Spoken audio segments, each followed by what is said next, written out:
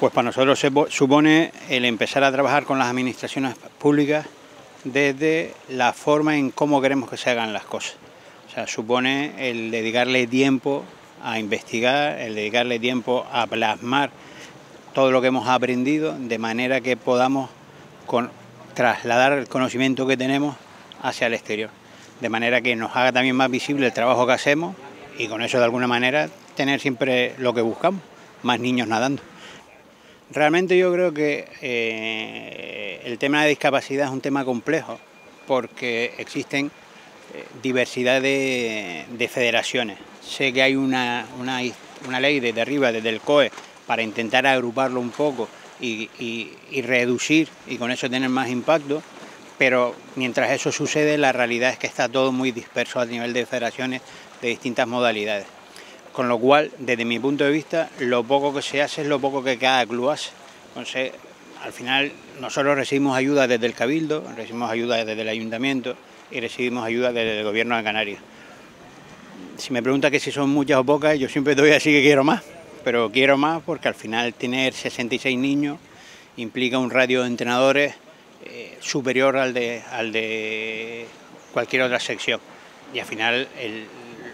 dignificar al entrenador significa pagarle un buen sueldo y al final esos son costes. Entonces al final no es para el club, creo que al final es dignificar a las personas que se dedican a trabajar con personas con discapacidad, porque además les supone una, una formación extra y una forma de ser diferente, porque realmente hay que tener cierta pasta para trabajar con ellos, o sea, hay que de algún momento Paqui y yo cuando la veo trabajar me quedo asombrado, digo, yo no podría, eh, a se me parte el alma y ella es tremendamente exigente,